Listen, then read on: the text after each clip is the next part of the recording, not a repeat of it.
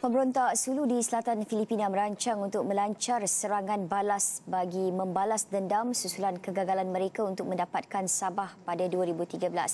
Menurut Timbalan Menteri Dalam Negeri Datuk Nur Jazlan Muhammad, maklumat berhubung rancangan serangan ke atas Sabah dikumpul oleh risikan agensi penguat kuasa negara.